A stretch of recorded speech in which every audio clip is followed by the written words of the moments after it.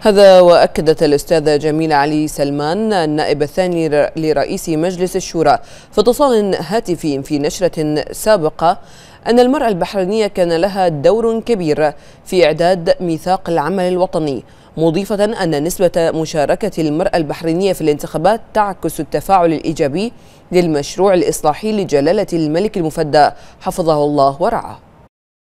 طبعا يعني دور المرأة في العمل السياسي يعني أصبحت العملية جدا ناضجة ودورها جدا كبير.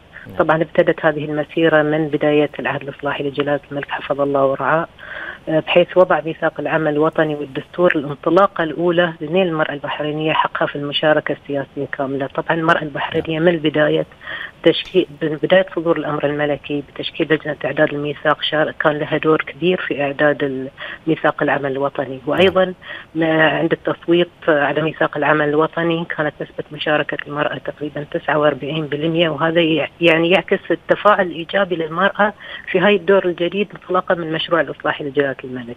نعم. طبعا جاءت التعديلات الدستورية وأكدت ضمانات وحقوق كبيرة للمرأة.